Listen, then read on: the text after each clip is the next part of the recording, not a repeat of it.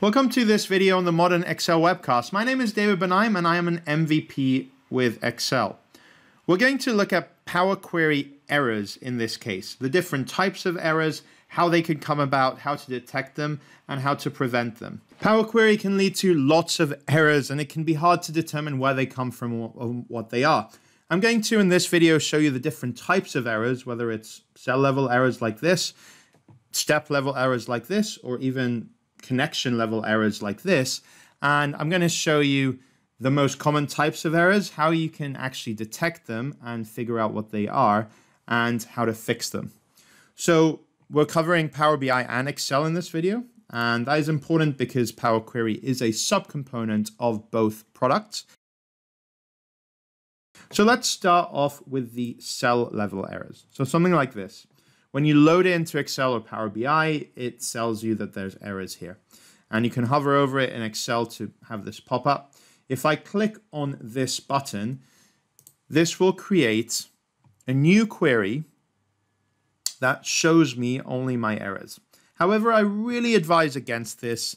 Um, I have a better way of dealing with this that gets to the same issue, but I'm going to right click here and press delete.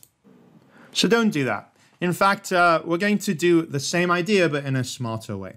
First, let's get our view settings right. And this is really important whenever you are investigating queries. So click on the View tab, and you've got your formula bar. You can turn that on or off, make sure that's on. Same with the query settings on the right, make sure that's on. And here you can have the queries pane on the left. Make sure you expand that so we can work with it. So we're going to go to add column and we're going to add an index column. Just click the default one is fine. It makes the first row zero and the last row is says 23 in the index column and that's row 24. It's just minus one. And then we're going to right click here and choose reference. This is going to be our query investigation, a little bit like the default one, but we're going to be a bit smarter with it. So let's go to our index column Let's right click it and let's choose unpivot other columns.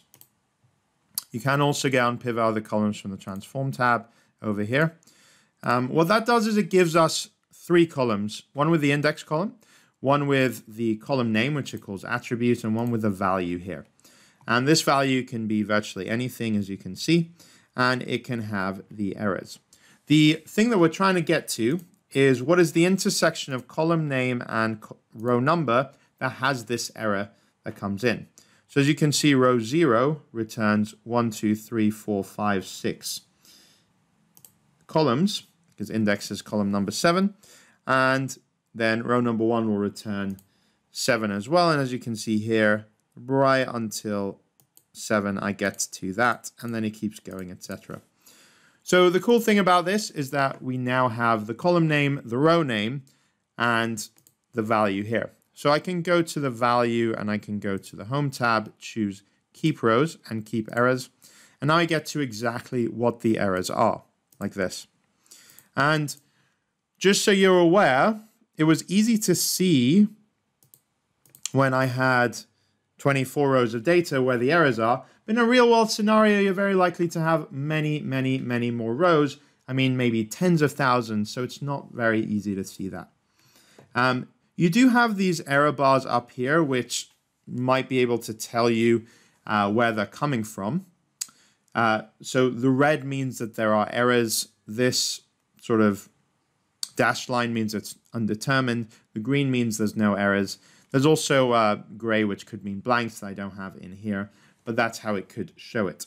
Although, from my experience, this doesn't always work, and in any case, you do not want to click remove errors because for the most part, you're not trying to remove errors, you're trying to identify where the errors come from so you can fix it at the source level. So another thing that I've noticed is that if you try to filter where you have that error, it says list may be incomplete. So where you have anything with an error, your filter buttons say it might be incomplete. Here it's fine. Here, again, it's saying it might be incomplete. So I did say where those errors come from. It's most often when you have cell level errors like this from a change type column. In fact, change type is a setting that automatically comes up at many, many times during your queries, but I'm going to show you how to disable that. In effect, you don't want to do a change type until near the end of your query or until you really, really have to do it. To demo an example of that, let's say I click on this column, I choose split column by delimiter, and I want to split it at the at symbol, and press OK. That not only adds the split column by delimiter, but also adds the change type by default, which I didn't tell it to do.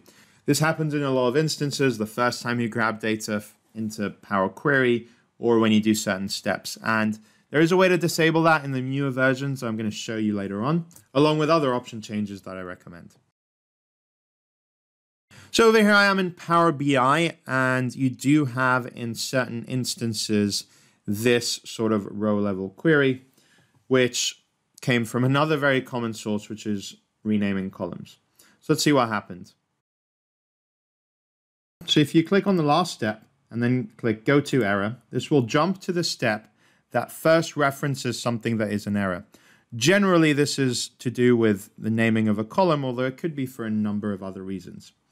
Uh, if I click there, then I go to the previous step. The previous step is where I rename it. So I rename units sold to units, and then the next step, sorted rows, I'm sorting by the column that says units sold. So if I move this one around, or if I just exit and delete it, then that means that this step no longer breaks. I go back to my last one, and now I still have an error. So I click on Go to Error, and then will, this will jump just back one step. And the one above that is Rename Columns, uh, and this is the one where, again, I have the same idea where I renamed something. Note that this could be up here, so now Go to Error jumps there. It's not the step directly preceding it, but it could be a few above. Also note that if I just have these steps. My, my last step doesn't have a thing that says go to error, and that is because this is the actual step with the first error. So if you don't see this, it could be for one of two reasons. Firstly, you are in the step in question, or secondly, the step in question is in a previous precedent query. So let's look at that in the next example. So here I have some errors loaded to Power BI although Excel would look the same, it says that loading blocked by failures from other queries. Or in certain ones, it tells me what's going on. The column employee wasn't found. But in a lot of them, it tells me that. Uh, when you do have this pop up, and you very often you will break one thing in a query, and then a lot, a lot of the queries will break. And that is because we often, in a more sophisticated layouts of Power Query tend to build queries that are dependent on each other uh, along various different ways. So when you get this, try and go to one of them that looks slightly different. Uh, avoid these ones, and sometimes the one that looks slightly different says something that is useful, but like this one says something different. But in effect, we're going to look at how to edit it. So if you get that error, uh, go to transform data and then you should open your queries pane on the left. You'll see the icons this next to the ones that are causing issues. Now, I already showed you how you can go to the error in if it's in that query, but in this case, it's I don't see that. And the reason why I don't see that is because actually the error comes from a precedent query. A precedent query means that effectively this query starts off where another one finished. If I click on the source step, the source step is called and another, and this is another query. And this one, in effect, has its go-to error. So this one has nothing. This one has its go-to error. And then I can click on this, and I can see what the issue is, and I can fix it later on. However, in this case, the column employee of the table wasn't found. So my source has the word person, and I need to go back again and the source here says equals precedent query, this one. And here you might remember that I renamed employee for person, but if I exit out of that, click delete, I can see all of these end up fixing there. So if you don't see it, and if all it says is uh, that the yellow box that says there's an error and there's no go-to error, then it's probably related to the precedent one before that. Another useful view is if you go to the View tab, you have Query Dependencies. And here you can have a list of how things depend to another. So yet another, this is just a reference of and another. um, and then if I click on each of them, it will show me which ones are linked to do that. Where you have two lines like this, this could be from a merge query or an append query. When you have one line like this, this is from a direct reference. So to show you that, yet another. So if I'm here and I right click and I choose reference, and let me also do a duplicate like this. So I'm going to call this duplicate and the other one I'm going to call reference. And we're going to see how that looks in the query dependency editor.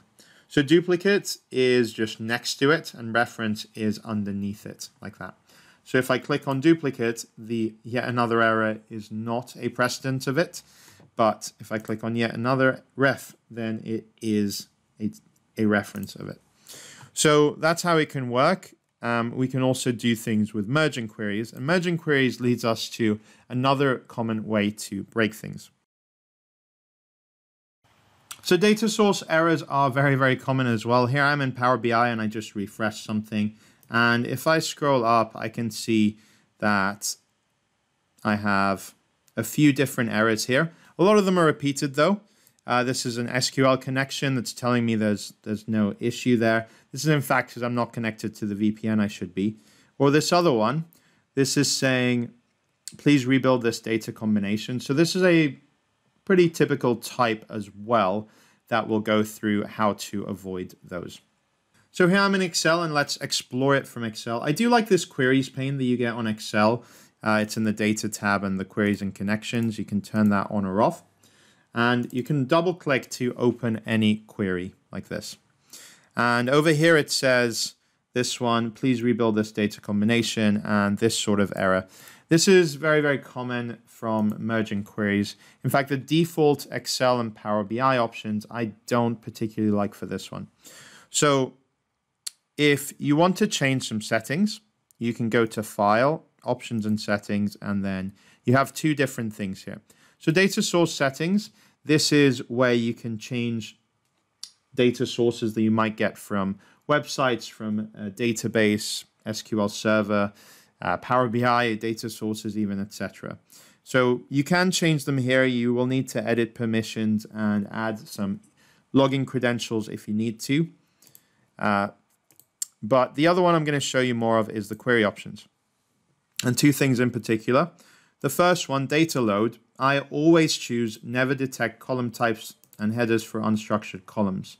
What this means is that the thing that I had earlier, where it would auto detect on a split column or a new column, it would add that extra step. It doesn't do that if I click here.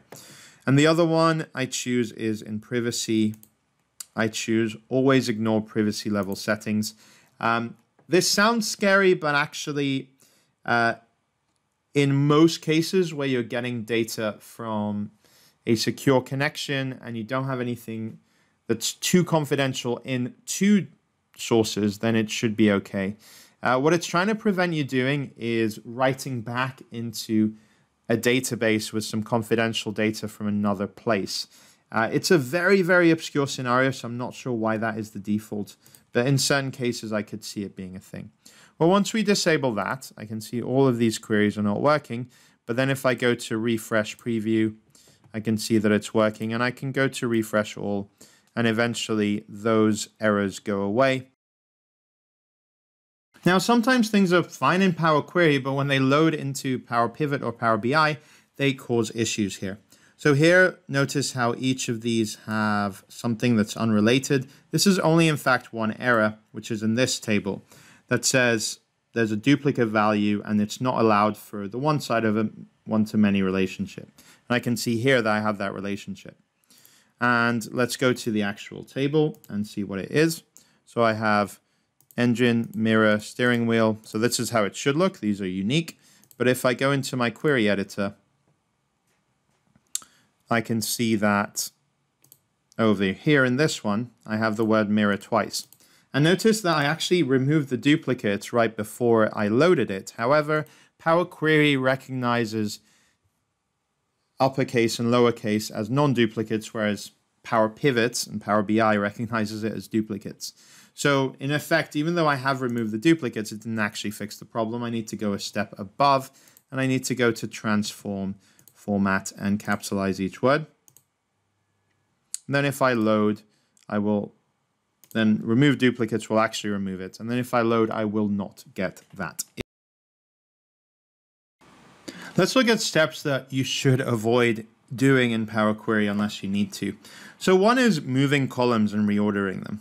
And let me show you why. If I just move this one that way, if I look at the stepped reordered columns, the code is actually referring to every single column, the name of every column. And that is unnecessary for just moving. Uh, in fact, moving columns sorting columns, things like that, you don't really need to do. Certain transformation types are risky in Power Query and you should avoid them for as long as you can. So things like moving columns and renaming columns, detect data types, remove the columns that you don't need. Often you should avoid using these until you absolutely have to. I have another video where I talk about safe ways to remove columns and rows that I'll link to in the description below. And my name is David Benaim. I am an MVP who has been invited by Microsoft to make this video, so thank you very much for inviting me. But I do have another YouTube channel which has a lot of other videos on Excel, Power BI, Power Query specific stuff, even PowerPoint, Microsoft Teams, and non-Microsoft technologies as well. So feel free to check out my channel um, if you like the content on this video. Thanks for watching.